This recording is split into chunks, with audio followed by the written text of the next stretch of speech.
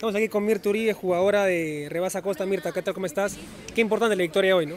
Sí, bastante importante, cansada estoy, pero creo que contenta porque el equipo jugó bastante ordenado, que es lo que está pidiendo el entrenador. Entonces, seguir por esa senda, creo que el campeonato está empezando, los rivales están bastante parejos y va a ser un bonito torneo. Ahora, el campeonato está empezando, pero ya consiguieron su segunda victoria, ¿no? Eso también les permite a ustedes afrontar con más confianza el próximo partido, por ejemplo, contra Latino.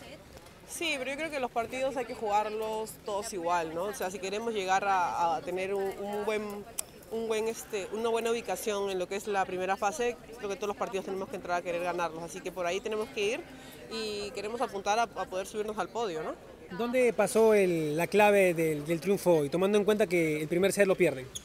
Eh, creo que el primer set empezamos bastante ansiosas, la verdad, eh, con un poquito de, ansiedad que no nos dejó en los momentos que podíamos remontar, superar al, rival.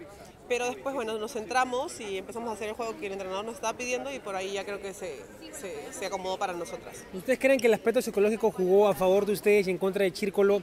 A ver, tomando como referencia el segundo set que lo ganan con tanta autoridad, a partir de ese set Chírcolo no se pudo, no se pudo levantar, ¿no? No, porque el tercer set empezó bastante bien, el, partido empezó parejo, pero ya después eh, nosotros con un par de, puntos nos, nos, alejamos y ahí fue donde ya cayó. Creo que de hecho eh, es un equipo experiente como para sufrir por el factor psicológico. Correcto. Eh, le preguntaba a tu hermana, tuve la oportunidad de hablar con, con Daniela, ¿qué, ¿qué, le generaba a ella jugar contigo. Te, te, traslado la pregunta a ti también, ¿qué te genera jugar con ella? Ya han jugado antes juntas, ¿no? ¿Qué, qué te transmite ella dentro y fuera del campo? Bueno, la verdad es que me genera felicidad, ¿no? Jugar con tu hermana, tu hermana menor, imagínate, era cuando... Es, lindo, es lindo cada oportunidad que me toca jugar con ella, creo que lo disfruto. Eh, ahora estoy jugando con una Daniela más madura, entonces este, también es importante eso y la verdad es que estoy feliz porque está escuchando, está aportando y hoy día se hizo un partidazo. Hemos hablado, bueno, tú has hablado de, de la madurez de Daniela, pero dentro de esa madurez que es una cosa, sigue siendo un poco tímida, ¿no? Porque le, le, pegué unas declaraciones y como que al principio no quiso y al final ya accedió.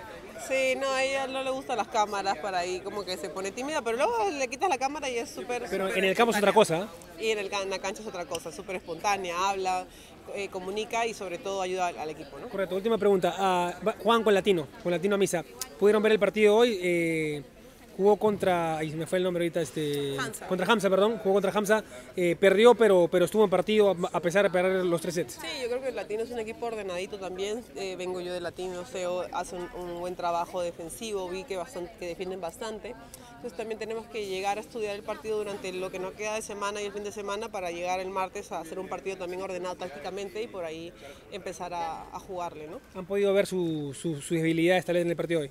Sí, o sea, vimos que que tienen eh, una, un, bueno, sus fortalezas en la defensa y tienen un armador que juega bastante rápido, entonces tenemos que sacarle más fuerte para poder eh, dificultarle su trabajo. ¿no? Listo, Mirta, gracias. A ti.